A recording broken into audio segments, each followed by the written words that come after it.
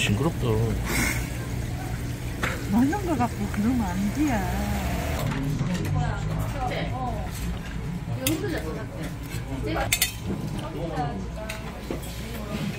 감사합니다.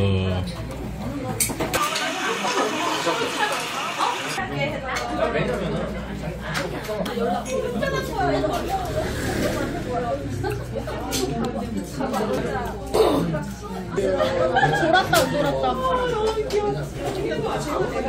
몰랐어.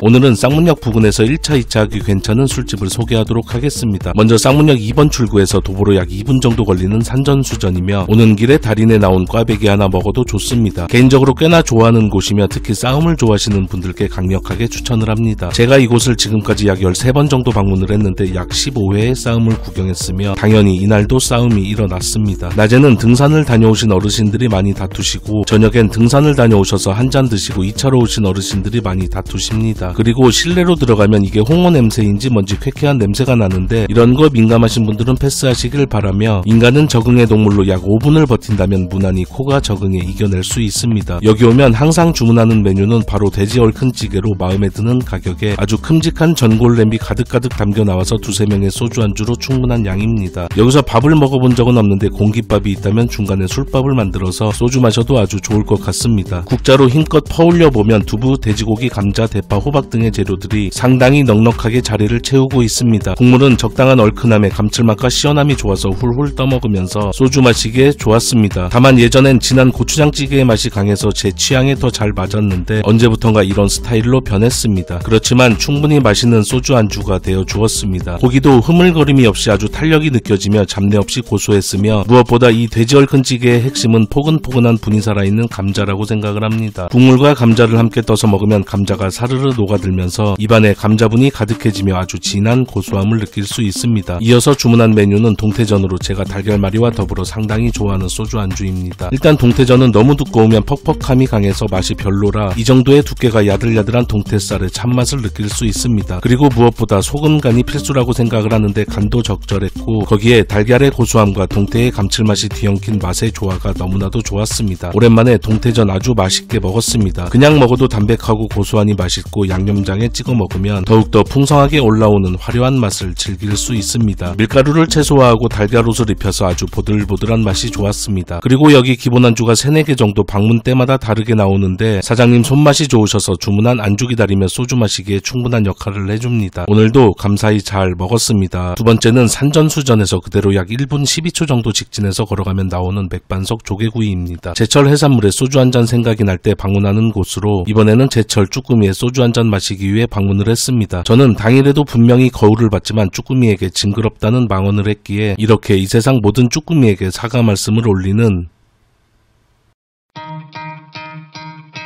여기는 가을에 새우철이 돌아오면 자리 잡기가 너무 힘든데 다행히 이날은 만석은 되었지만 시간을 잘 맞춰서 기다림 없이 바로 자리를 잡을 수 있었습니다. 술을 많이 마시고 지독한 숙취가 찾아와 해장이 간절할 때 가끔가다 이곳의 기본 안주인 이 조개 수제비가 생각이 납니다. 국물은 아주 맑은데 청양고추를 넉넉하게 넣어서 상당히 진한 매력적인 칼칼함이 살아있고 동죽 조개가 내어준 감칠맛 또한 훌륭합니다. 국물을 한번 떠서 먹으면 멈출 수 없는 지독한 중독성이 있어서 해장으로도 좋고 이렇게 술안주로도 아주 훌륭합니다.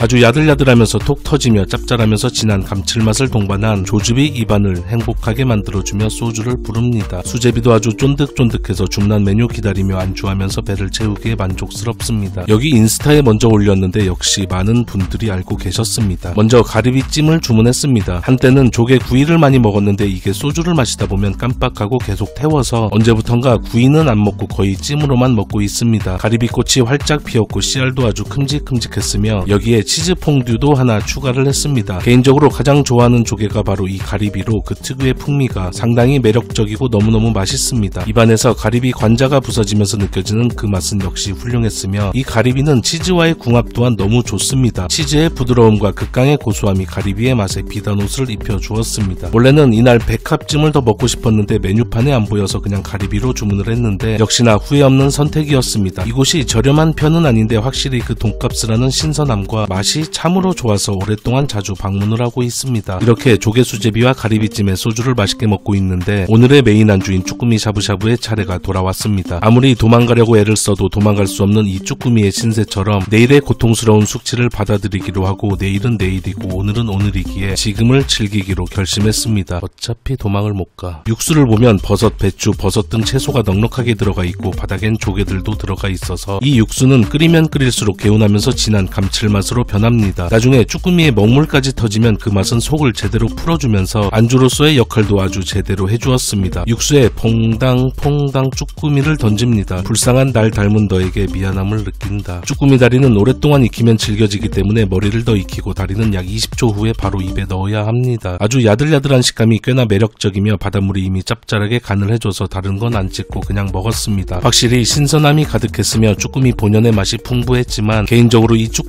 샤브샤브를 아주 좋아하지는 않습니다. 그리고 대가리에 가득 찬 쌀밥 같은 알을 별미로 많이들 이야기하는데 이 또한 그렇게 맛이 좋다고는 생각을 하지 않습니다. 그냥 꾸덕꾸덕한 씹는 느낌만 있고 특별한 맛은 없습니다. 하지만 매년 벚꽃이 피는 봄이 찾아오면 한 번씩은 꼭 먹고 있는데 내년에도 다시 먹을지는 잘 모르겠습니다. 이렇게 소주 한 잔 맛있게 먹고 있는데 사장님께서 쓱 오셔서 전복 세 마리를 툭 던져주고 가셨습니다. 대단히 대단히 감사드립니다. 제가 전복회는 안 좋아하는데 이렇게 익힌 전복은 맛있게 잘 먹습니다. 그래도 전복은 마늘 버터구이로 먹는 게 세상에서 제일 맛이 좋습니다. 쭈꾸미 대가리로 마미손을 만들어 보려고 이렇게 저렇게 노력을 했지만 실패하고 말았습니다. 영상 봐주셔서 대단히 대단히 감사드립니다. 아, 접니다를 깜빡해버린 접니다.